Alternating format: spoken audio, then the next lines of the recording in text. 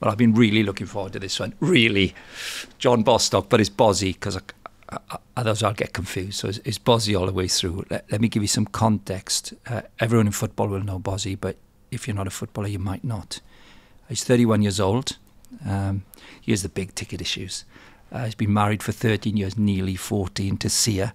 They've got Joa, their boy. Uh, he's currently playing at Notts County in League Two uh, and going along quite nicely indeed. And he runs an incredible organisation called Ballers for God. We're going to dig into some of those things. Now, I'm going to give you his CV before we get going.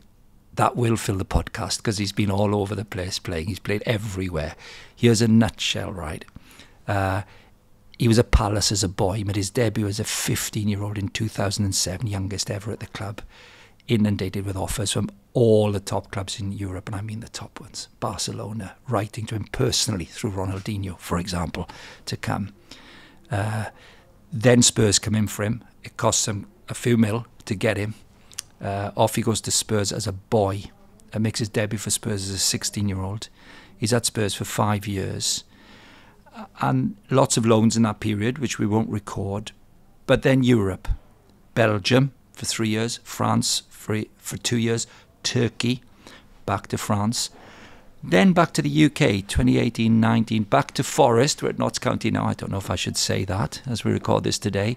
And then Donny, Doncaster Rovers, 2021. And then Notts County in the 22 season. That's our context. He came to faith as a 16 year old. And we're going to dig into that as well.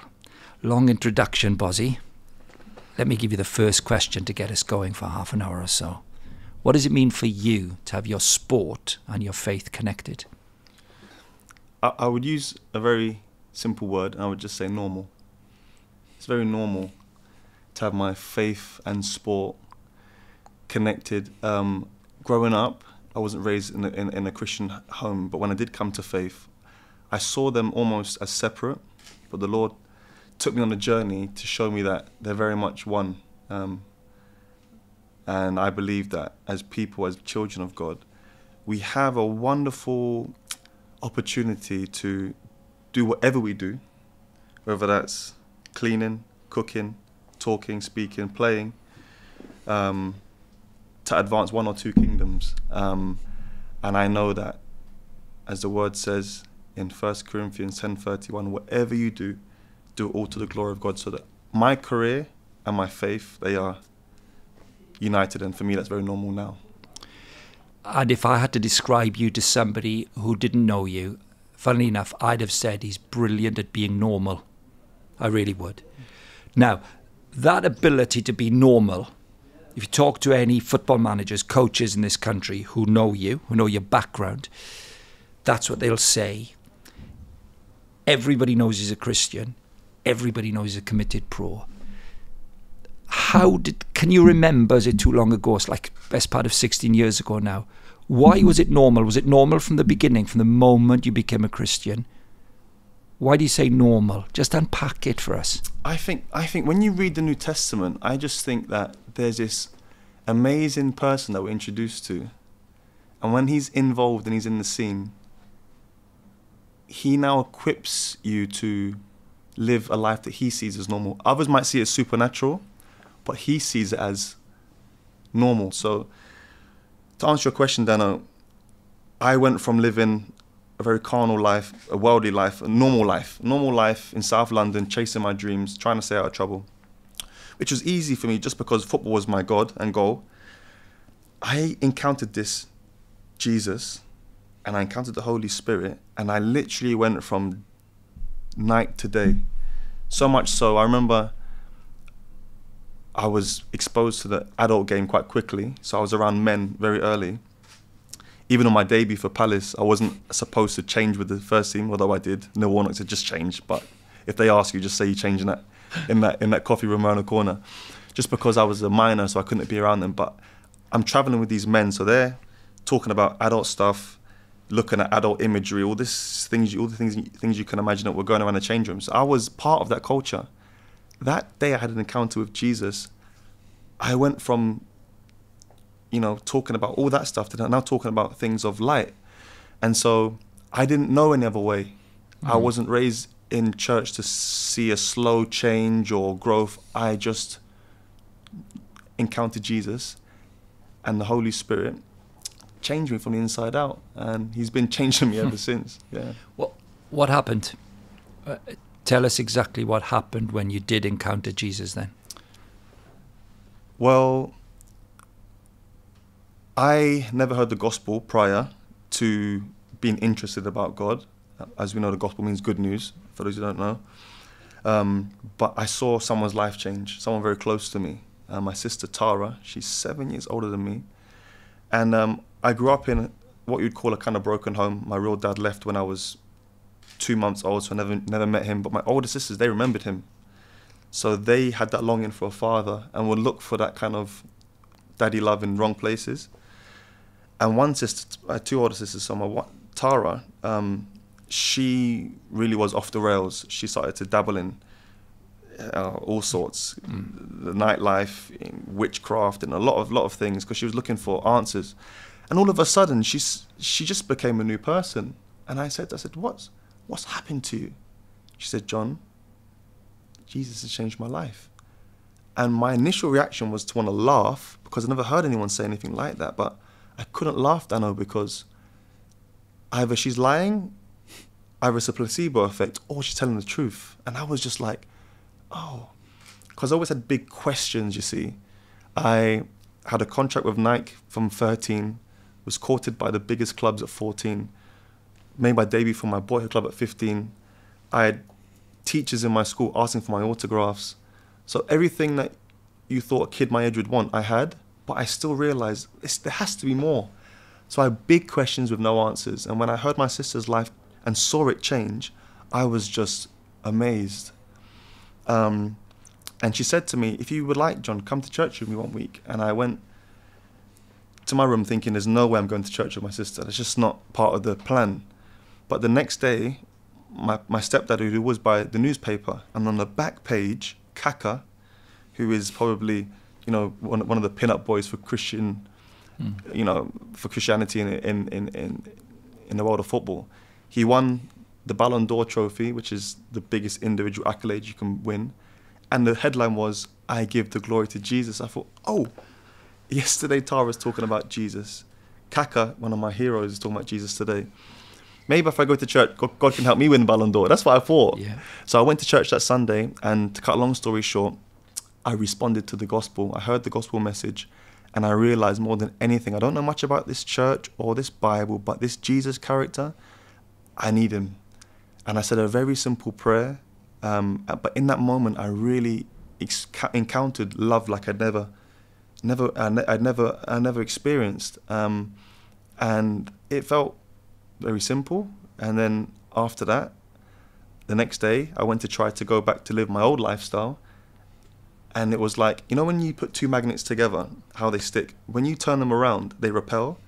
And that, that, that, that repel started to be very consistent. And slowly but surely, I started to pray and read the Bible. I remember when I used to pray, about, I could pray for about five seconds, 10 seconds at most. God help me today. Please help me not to sin. And that was it. Over time, it started to develop. So that's how my life changed initially at the age of 15 when I came to know Jesus. So you'd made your debut for Palace at 15. So Yeah. you played in the first team. Yeah. Mad. Um, what was the first thing that you knew had changed? You've described that day, your Mm. sister. What was the most noticeable thing, if you can remember, back in that first few weeks? You know, the magnets repelling. I, I mean, obviously, you've got to be careful about what you talk about. I understand Mm. that, but as you cast your mind back now, what was the what was the change inside, and how did it impact your peers around you, particularly? I think immediately I noticed it's like my heart, my heart softened. Um, I, I grew up with a mindset of my my name, my fame, my story, my glory. That was kind of my four pillars. Although at the, at that age I didn't I didn't label it like, that. But when I look back, it was all about my name, my fame, my story. It's all about me and my glory. And so that's why in playing football and doing well, I'd be so high. In failing, I'd be so low, just because my whole focus is on my name.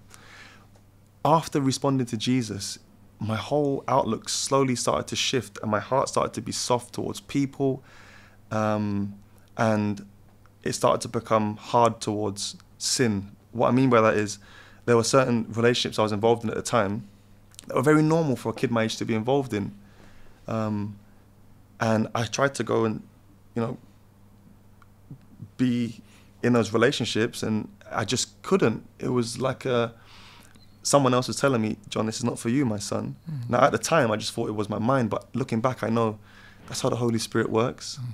His voice is very quiet, but he's insistent, you know, um, in making us more and more like Jesus over a period of time.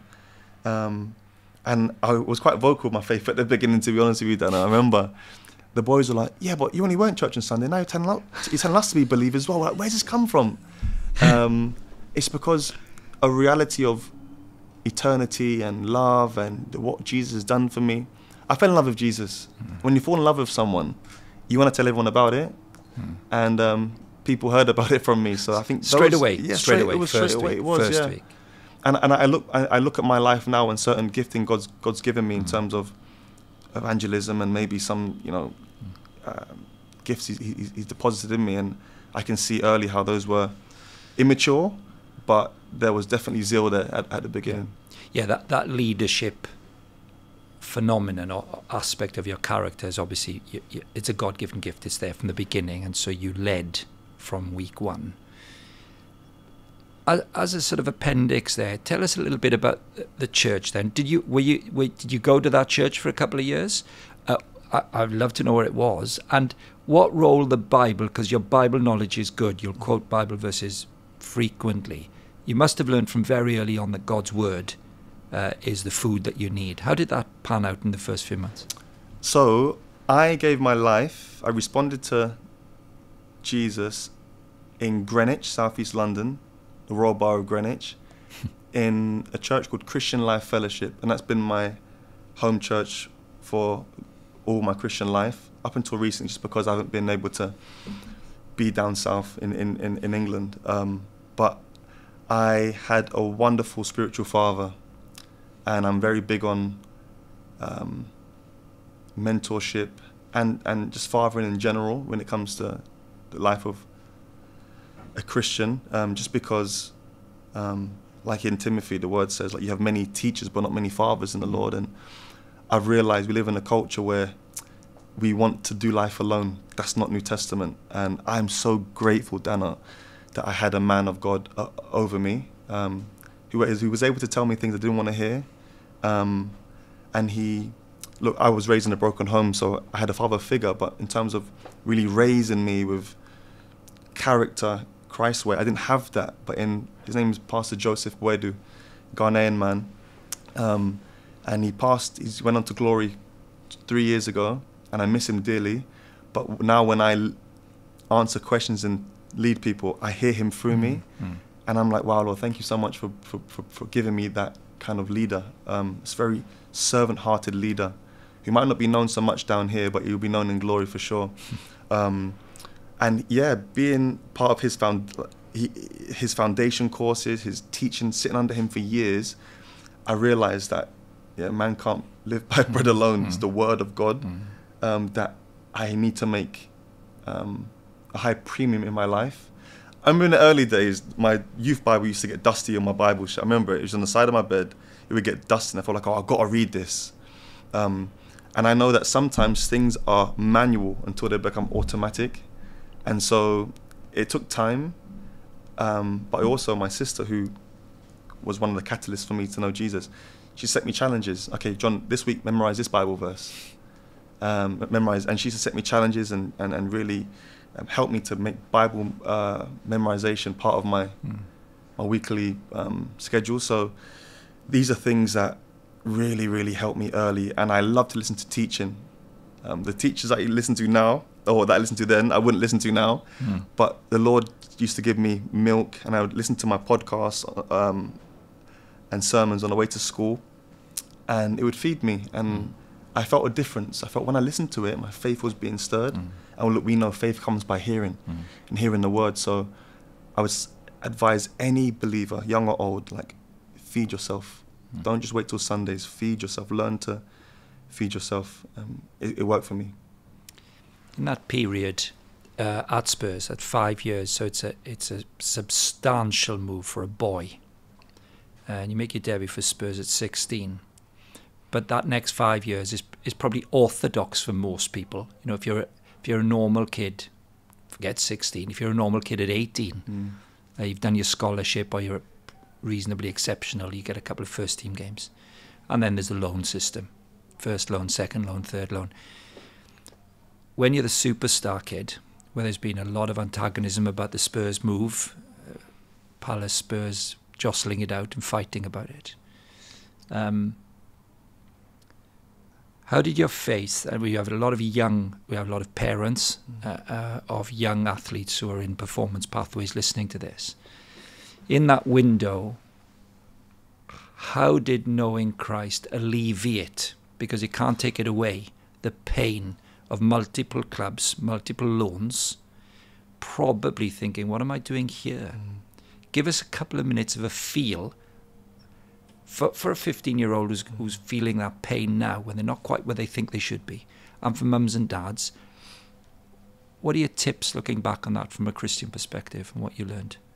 Danno, without my faith in Jesus and God holding me through those years at Spurs, I really doubt if I'd be a footballer now.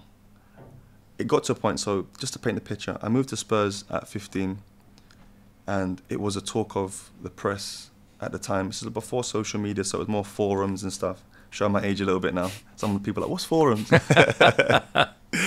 um, and so it was. There was a lot of pressure on me. The club I supported since a kid, Palace, I had a season ticket there from five. I made my debut at 15, so that was my home. I went from being the blue-eyed boy there to then receiving death threats when I left the club. Now, although I, I didn't believe any of those death threats would really come to hap- come to pass, to be rejected by your own people, it hurt. I remember there was a sign. I left the club. I was only 15, and the next championship game that Palace pl- played, there was a, a banner that went across 20 fans. It said, "Bostock, even Judas is more loyal than you." and this is I was only a kid, and I and I would look at these things and read the forums and see it. Um, but you know what, Dana? Looking back, God really, really helped me through the initial stages because my faith was high. I'm going to be a club. I'm gonna go and play in the Prem now, and I'm ready to take on the world.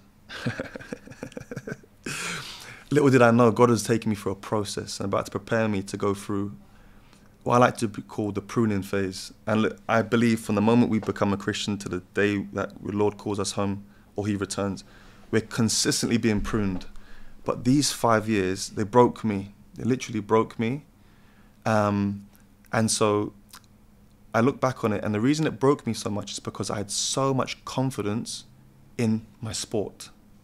That, that basic, what I mean by that is I put all of my weight in performance in football and people's opinions of me and in being John Bostock, the Wonder Kid, and fulfilling that title. So remember, God had my heart at that age. So I was I was leading a Bible study. I was I never went out clubbing, never drank a drip drip of alcohol. Women weren't in the in the radar. So I'm honoring God. I'm putting Him first. I'm winning souls to God at a training. And on the pitch, it's just not going well. And the more I try, the more I feel like I'm letting it slip the more I pray and fast, it's like, what is going on here? And it's because God still had to prune me and break me. And I, I would have loved God to just promote me and me just to understood certain character things I should have known then.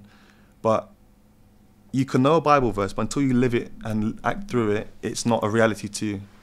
So knowing verses like Proverbs 3 5, trust in the Lord of all your heart.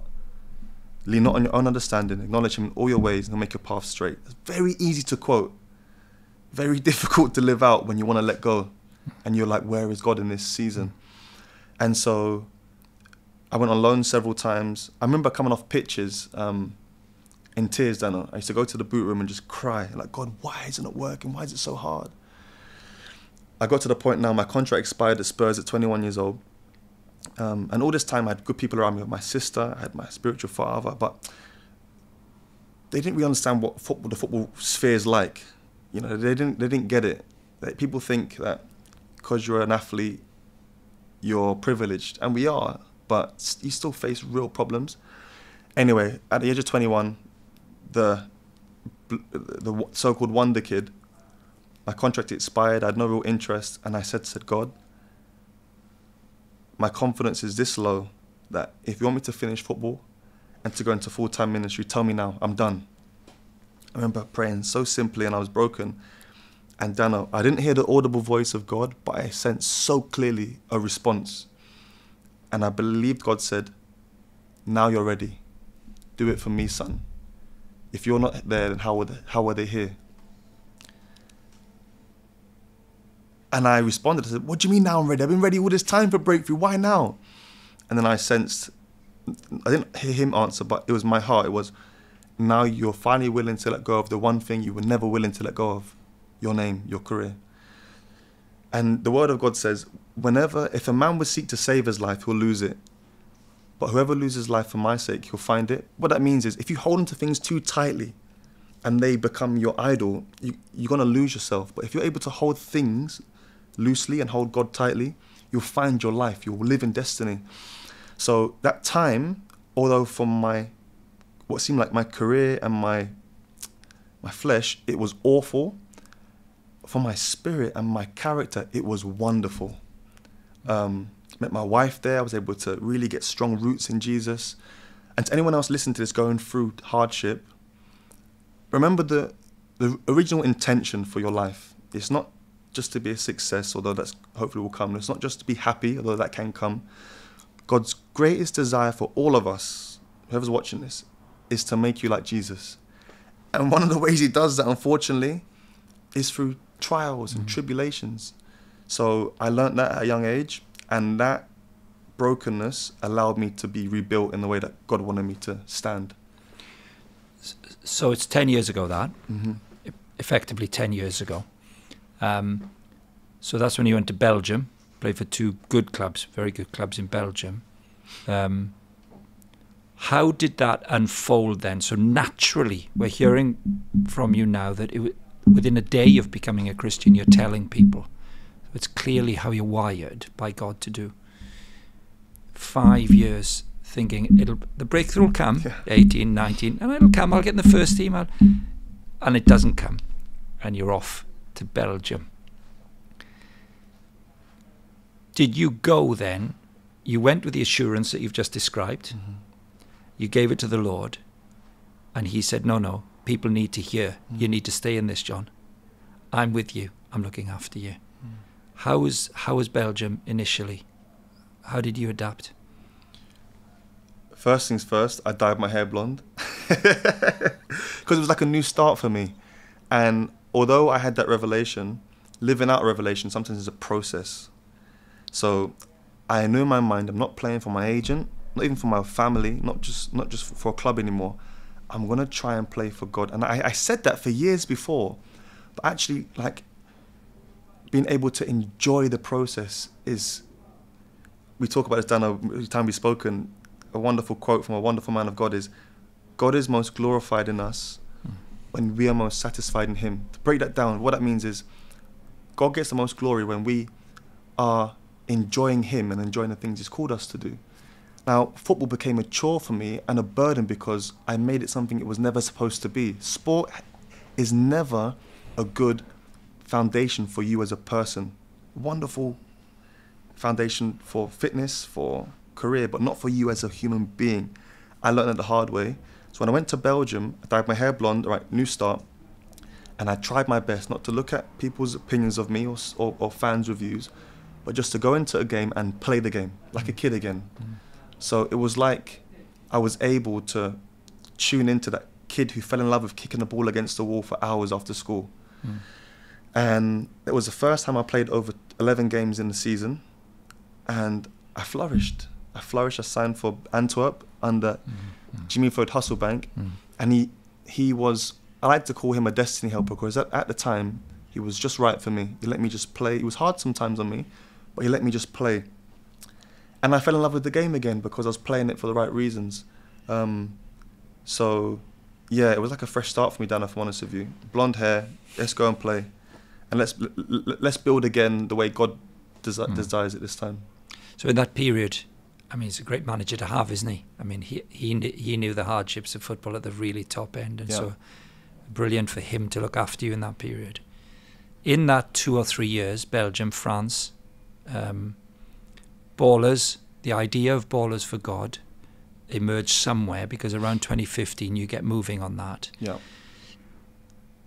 Who did you did you know anybody who had met with you as a young Christian player from inside sport? Did you did you did you have company or companions like that to help you when you were in England? In terms of oh, actually in the country. Yeah, yeah. I'm, I'm thinking back now because we, we've talked about how your pastor brilliantly helped you. Mm. Um, but you're navigating something, as you said earlier, that you're, however much people love you and bring God's word to bear in your life, there's something about the f- being inside a business, which you now do for thousands of people. Yeah. Did you get access to any of that? So, in terms of above me at the beginning, no. But then I was able to win some of my some of my teammates to the Lord, and they became real peers and brothers Mm. in the faith. But I look back actually, I was on a really low time on loan at Swindon, and Steve Miles, Oh, Miles, Milo, he came to meet he with came you. to meet me at what Swindon, class and I was really low at the time, really low. And so he was he's an amazing man of God who met me where I was, and um, because I was also, you know, just being honest, I was like an example to some of the Christians around me. I felt like I couldn't really open up and be honest about some of my weaknesses. So to have him come, understand the game, understand the infrastructure of what it's like to be a Christian in sport, that really helped me. And so, um, yeah, that that was a, that was a real. Sh- it was only one or two meetings, but he would follow up on me and ask me how I was. So that was a key time in my one of my lowest moments. Um, and so yeah, having help from that uh, angle now helps me to think, okay, who's in need Right. I am now coming. that I have contact with, um, just because players go through, people go through things that are not always seen. Yes, good. I, I, w- I was groping for that because I, I knew that it happened somewhere in your teens. Yeah. Uh, and that adds that little piece to the fact then that you've actually had some access to somebody inside the game who is a Christian and Yeah. wants to care for you. When you start to get stability, serious stability, Mm. enjoying your football again, it's not your idol. Well, it's a battle, isn't it? But Yeah. it, Christ is king. Tell us about the original development of Ballers Ballers God. Yeah. before it was ever called Ballers. What was going on here? Yeah. So I started the Bible study in 2008 9 in in Tottenham. So I had, I had my own place. Me and my sister lived together, which was amazing. And I would gather players from Spurs, from Arsenal, from North London, and some other players from around. And we'd come together and we'd have Bible study, fellowship, cell group. And that was great. So that was like the early kind of uh, taster of what was to come. And I remember one night, I woke up in the middle of the night and I had this like grieve in my this like grievance in my heart, and I sensed that God wanted to start a movement through me, but I didn't know what it was. I wrote some things down. Young people, sports, this, that, culture, um, and nothing came from it for a few years. Now, fast forward to 2015, I'd always kind of encouraged players along my journey. But this is one of the times when I now needed encouragement again. So I'm in Belgium, the language barrier, hurdle. Training on Sundays, hurdle. Not easy to get plugged into a local church. And this is long before COVID, so no online. Remember when churches went online and were equipped to reach people around the globe? My church wasn't equipped like that from England. Um, and I sensed in my heart that I know I'm struggling, and if I'm struggling, I know there's other players out there struggling as well. You know, not able to be plugged in to fellowship. So I prayed about it, and I sensed in my heart that God wanted me to start just a meeting. It wasn't a movement, just a meeting, just to encourage other players where we can come together, break bread, read the word, and pray for one another. Just love each other and be with the Lord in that kind of atmosphere. So I called the first player, I think it was Benik Afobe, and I said, Benik, how are you? Okay, how's things? Yeah, yeah, football. So, no, no, no, no, not football. How are you, Benik? He went, Oh, yeah, family this, going through that. I said, Bro, I get it, I've been there. Would you want to come on, jump on Skype once a month just so we can encourage each other? And he said, Yeah, I'd love that. So the first meeting in 2015, Danno, on Skype, was I think three or four players, and um, it was so sweet. The fellowship, the conversation, prayer. We cried, we laughed, and it was that understanding of we get what we're going through. We get the challenges. Let's support one another. And look, the word says, "Where two or more, two or three gather in my name, I am there." And whenever we gather in God's presence, He, His presence promises to be amongst us. And so we practiced that for months, and the meeting started to grow and grow and grow. And it was a different um, kind of angle, you know, because Christians in sport was kind of men who ran the race well before us, or men who were not playing. This was the angle of we're playing, mm-hmm. we're going for it, and we're in your changing room. Let's mm-hmm. gather, let's huddle like a team, like a changing room almost. And players invited players, we invited teammates, and word grew. Um, and we realized that this is growing quite fast here. We need some structure. So we met every week. We changed onto Zoom, and then we divided into three language groups. So I was so blessed to meet Jeffrey Sarpong, an amazing man of God, Dutch player. Eyong Enoh, ex-Cameroonian captain, the leader of the French group. So now the three of us lead those language groups, and hopefully more will come. So we went from having four players in the first meeting to now we have access to over well, the community's got hundreds of thousands, but in terms of players, like 400 players that we can like, we have touch points with hmm. every week. So that's how it started, and and you know, God's signature's been all over it from the beginning. How do you find the time? In the sense that you've got a day job and yeah. you love it. It's your football job. How do you manage that? You've got a family. Yeah, that's the bit family. My wife, listen, I've, I haven't got got it right always, Danno. I haven't. Um, my wife and I have had conversations about my timekeeping and priorities, and I haven't got it right. But I believe this is something the Lord wanted me to birth. And that's the thing, God, when He births things, He doesn't birth it for you, He births it for the body. And so if He births it, if He's of it, He'll give you the grace for it. Now, with that, you need to grow in skill in terms of leadership and structure and strategy. And so I realized I needed more leaders. So we raised more leaders, put on more courses. You know, we really we, we, were able to you know gather some strategy and structure in place. Um, and if I'm honest with you, the biggest time saver and helper is prayer. That's been our engine, Danno. So every morning, without fail, from 7 a.m. to 7:30, a leader will be leading prayer. 365 days a year. We've been doing that for the last four years now, and since we've really taken prayer to another level, we've seen more fruit.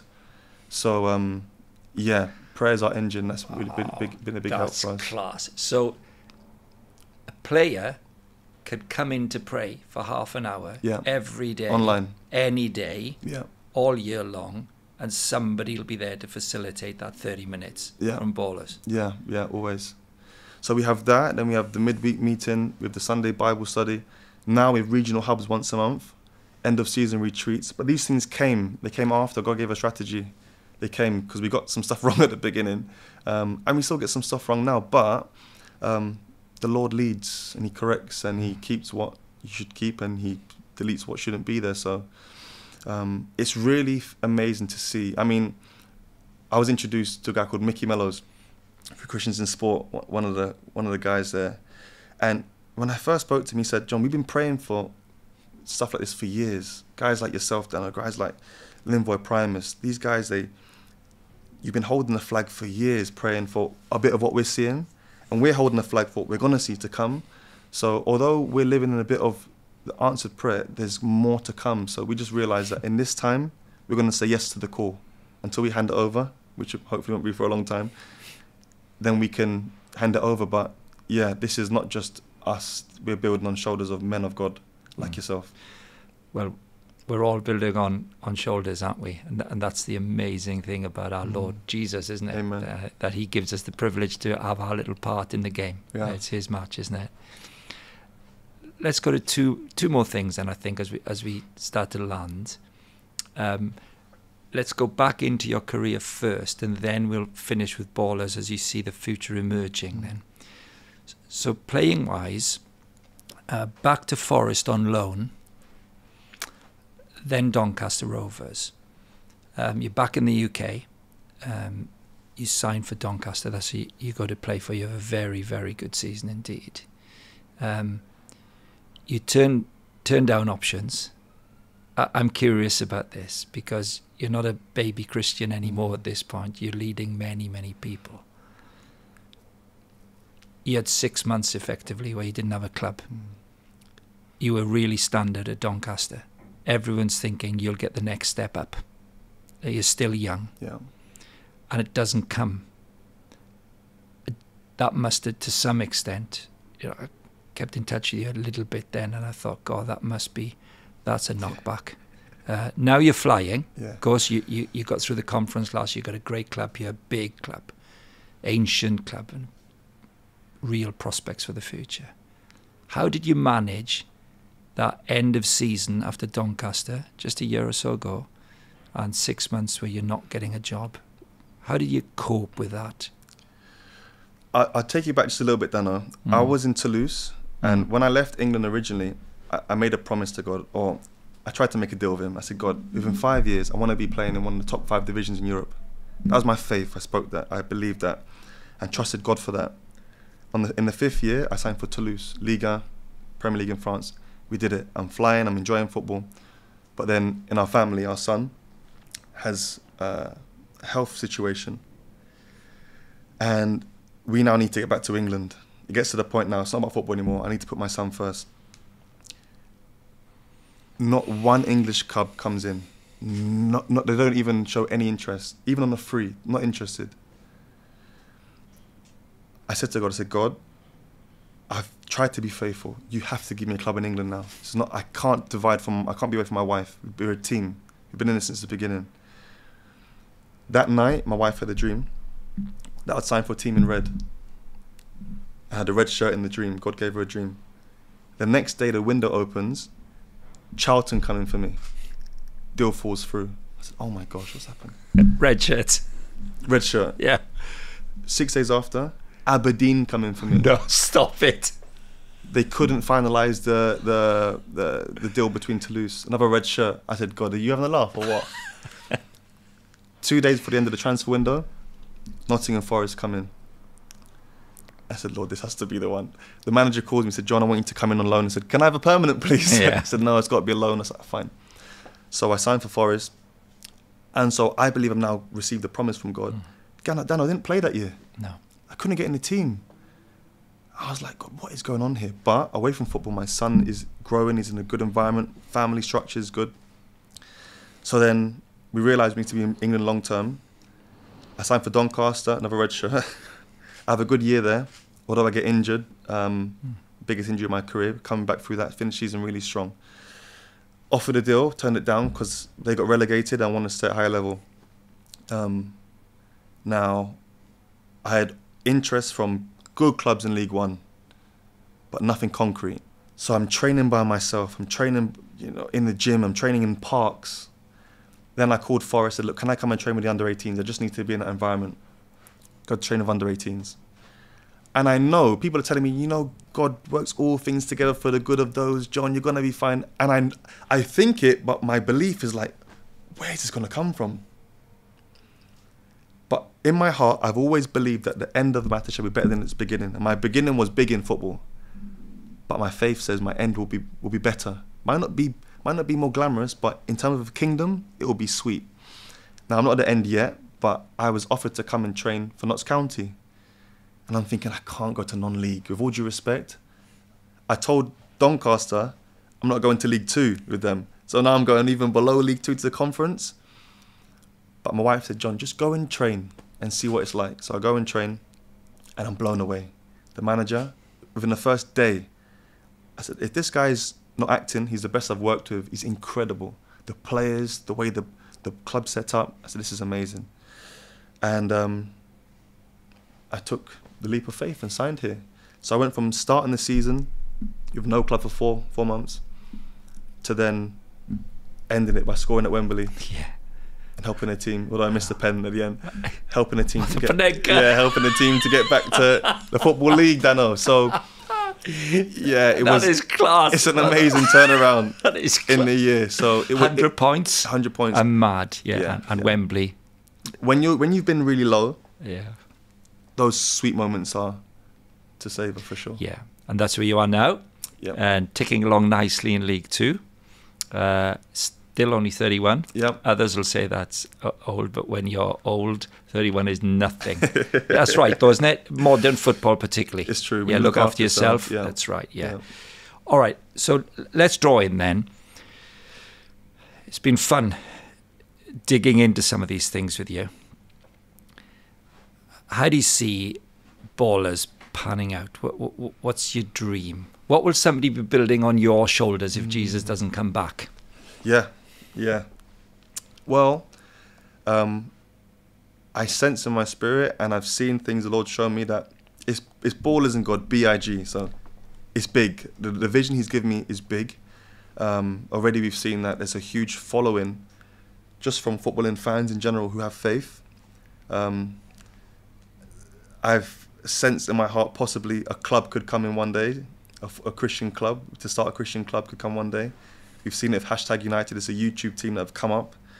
That's down the line, and academies and and these kind of things. We've already got the merchandise, which is really nice.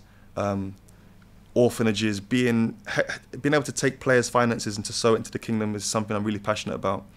But of all the thoughts, Danno, that are to come, I'm reminded often that ministry is not a pulpit, it's people. It's people. And whenever I'm, my mind is to think strategy, uh, planning, these are really important things.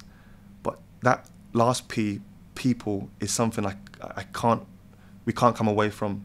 So if I'm able to help one player grow in his faith, grow in his career, miss some of the hurdles I've been through, but also hold his hand through some of the hurdles I have been, challenges I've faced, that's where I want to stay and want to be. So I want to raise disciples who make disciples and continue to do that. By His grace, we, we've seen that. We've seen many players come to the Lord over the last few years. Um, but trying to keep the main thing the main thing is not so easy at times, especially when you get requests for talks and preaching and building and collaborating. But my goal is just to fulfill the Great Commission in and through the world of football. That the name of Jesus will be lifted high through the beautiful game. That will continually be my focus. John Bostock, thank you very much indeed. Absolute pleasure.